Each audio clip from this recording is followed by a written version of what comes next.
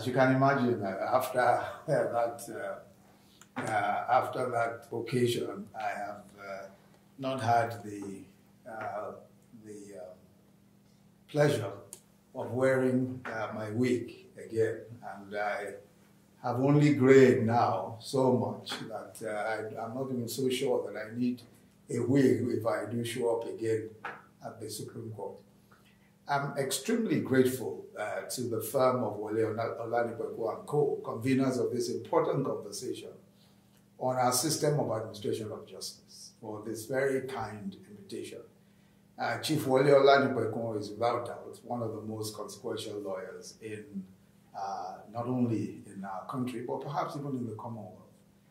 Today, his exceptional success with novel constitutional constructs is swiftly becoming the stuff legend.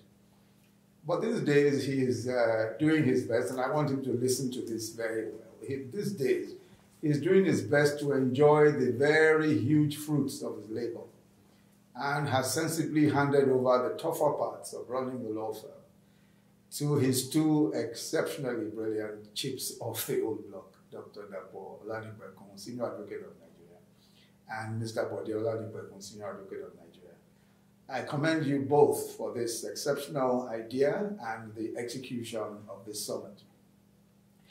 This, this theme covers a very broad remit, and I, and just after listening to uh, Oditah covering the wide range of issues and with such incredibly, uh, incredibly appropriate examples and, and illustrations, uh, one really would rather not uh, say anything. We'll just go straight to the discussions so that we can make uh, our contributions. So what I will try to do is to focus my comments on the responsiveness of our system of administration of justice to the ends of social justice, or the social ends that is to serve. And I'll just mention a thing or two about uh, some of the other infrastructural issues uh, at the end of my uh, presentation we are, you know, at, at, at, a moment in history like no other. Uh, a global pandemic of a magnitude probably never seen before, and the worst global uh, economic decline in a century. But economies, like politics, uh, is local. You know, here in Nigeria, we were already grappling with issues of poverty, entrenched inequality, disparities in access to social and economic opportunities, constraints to access to justice, and I think as um, and as uh, said, you know, not just access to justice, but perhaps more importantly, exiting uh, justice, the, the justice system, and the diminishing faith in governing institutions generally. At the same time, insecurity in parts of the country stretching our law enforcement infrastructure to its very limits. But we're also at the most technologically advanced moment in human history.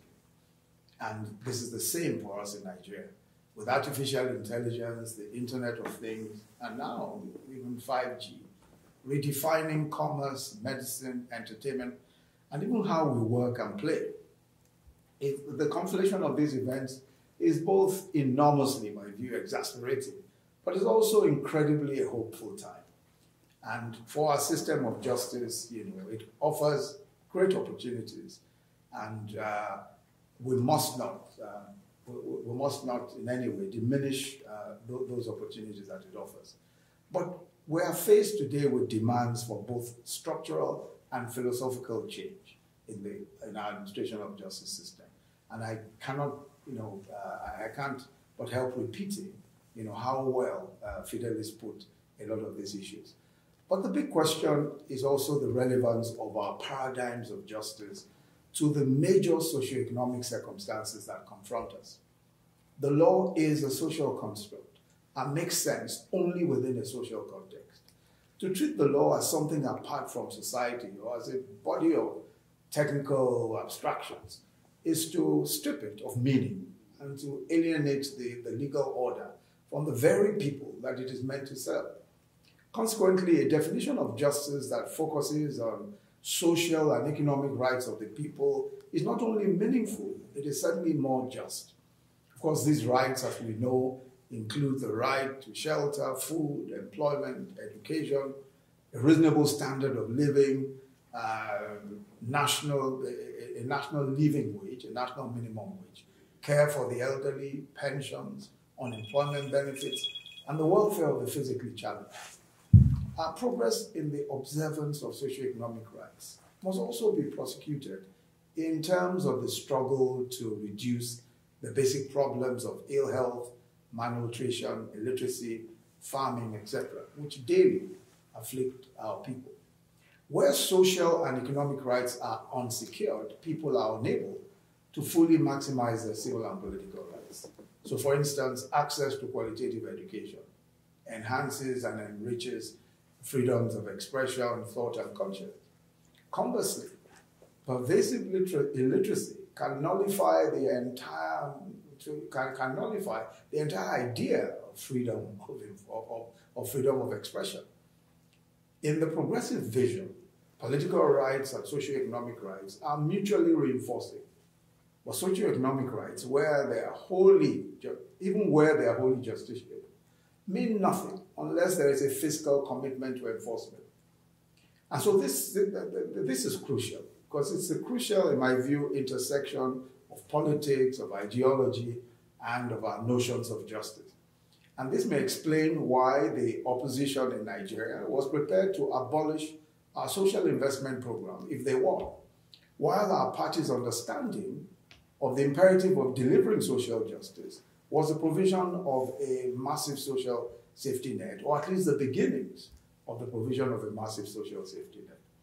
This was a fundamental feature of the party's manifesto. So our social investment program, which is possibly one of the most ambitious welfare programs on the continent, and our effort to expand universal health insurance, all aim at ensuring that our most vulnerable citizens are not abandoned to the vicissitudes of fate. Consequently, socioeconomic rights, where they find uh, uh, fiscal support, is uh, absolutely crucial. And then if they do not find, uh, uh, if they don't find fiscal support, obviously, the whole cause is lost. It's of course evident that without social justice, legal justice, if in any sense, is, is unattainable. The degree to which citizens are in possession of their socio-economic rights also has a direct impact on the degree of their access to legal services and thence to justice. Our Constitution asserts that the independence, impartiality, and integrity of the courts of law and easy accessibility thereto shall be secured and maintained. It's significant that the framers of the Constitution enshrined access to justice along with socio-economic rights in, in, the directive principles and objectives of state policy. But, but it and this indicates clearly that they saw access to justice and the integrity of our justice system and socio-economic rights as related imperatives. And I think that, that, that is a, that's the right construct, that's the right framework. There's also a growing recognition, especially in criminal justice, that the model of adjudication that we're accustomed to, which largely dispenses retributive justice, is not entirely adequate to meet the demands of justice in the various complex uh, scenarios and situations that confront a developing country such as ours. Given the tensions and frictions generated by contending passions and grievances in, in, and the social uh, reality of inequality and inequity, there's also a recognition that some of the most serious situations, which threaten to even sometimes, you know, break the fabric of society, require much more than just retributive sanctions by a judicial system. They require restorative justice to bring about healing and the reconstitution of communities. This is one of the approaches that we're looking at as part of our efforts to resolve protracted ethnic and religious conflicts. In many, many cases, it's not enough to, to, to, to arrest, detain, and then prosecute uh, and, and, jail uh, a terrorist or jail someone who has abducted uh, children for years. There is a need somehow to find uh, a, a, process by which restorative justice can, can, be brought to bear, by which the communities can feel somehow, as, by which their, their, their feelings of violation can be assuaged. Already the National Policy on Justice embodies some of these prescriptions and offers pathways of innovation for more holistic approaches to justice delivery. There's still much work, of course, to be done in this respect. But just to mention as I close, uh, uh, just a few of the issues uh, which I've described as infrastructural issues. Uh, how do we ensure that we attract and appoint only the best amongst us to the bench? How can we do, what, what can we do about unreasonable delays in justice delivery? How will technology affect our administration of justice system? What needs to be done to maintain the integrity of our judicial process, processes and outcomes? To take the easiest first, and I'm not going to make any elaborate comments, as I said, I endorse fully practically everything that Fidelis uh, uh, said. There's little doubt that technology has already permanently changed the way we do business. The Supreme Court, in the wake of the pandemic, endorsed virtual court proceedings. So, I mean, clearly, there is, at least the doors have been opened for whatever the implications of virtual court proceedings mean. Digitization of trial processes is now inevitable, and there are very many easy to use models. Uh, this will, by itself, in my view, uh, impact trial times. uh, recording proceedings will be easier, and so will several other things. And I agree with Fidelis that uh, sometimes uh, technology might be slower than, than, uh, the, than manual processes, especially because we haven't got the technology right. But I think that with, with, with more frequent use and with the, uh, uh, states like Lagos, we'll probably get it right much faster. You know, we've been at this issue of digitization for quite a few years now.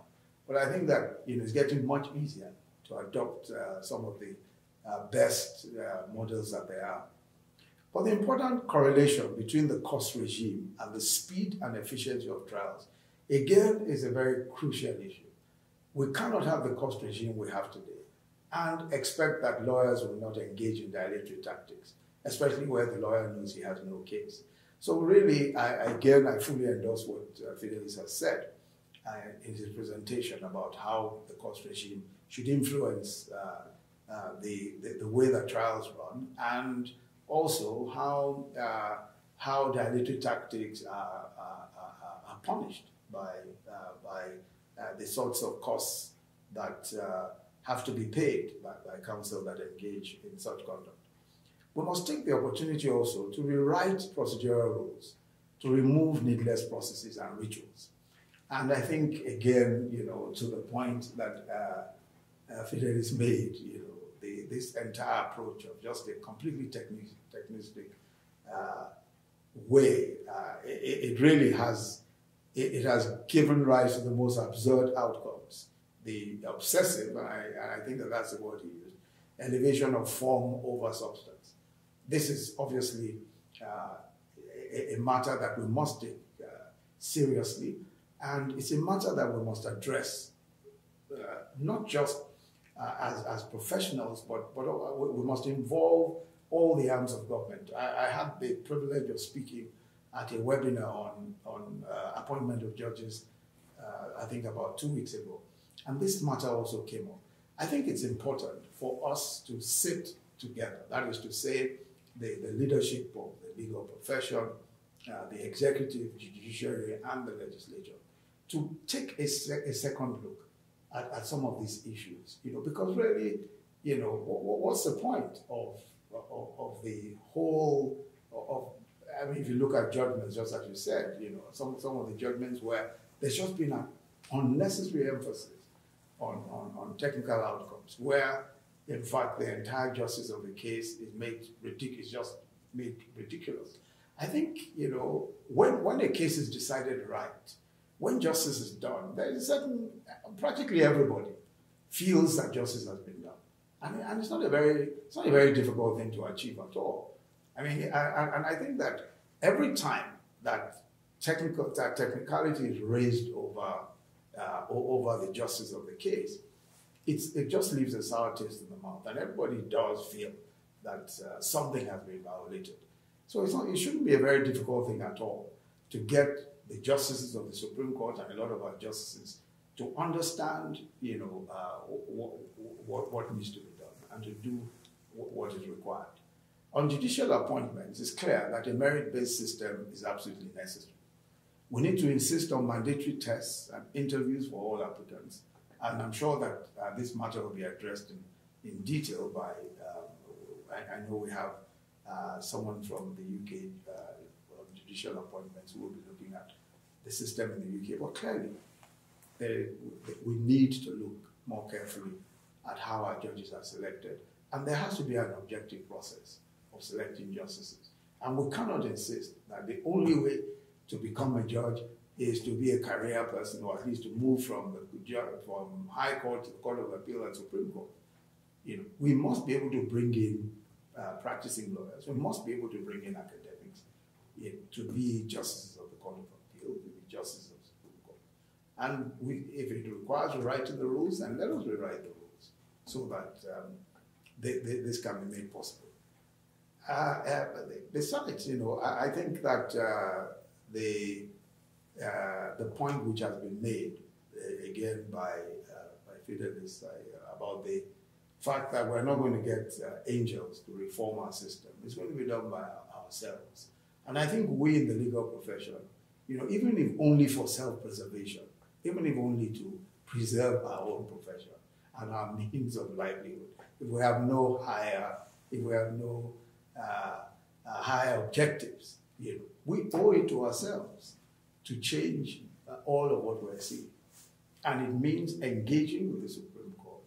It means engaging with, uh, with, with, with, government, with the executive, and with the legislature fully to change some of these, uh, to change some of these rules. And I think the, the, the case is very, is very clear and evident one, that change is necessary and that the reform of our judicial system is urgent. Every minute of delay simply worsens the bleeding.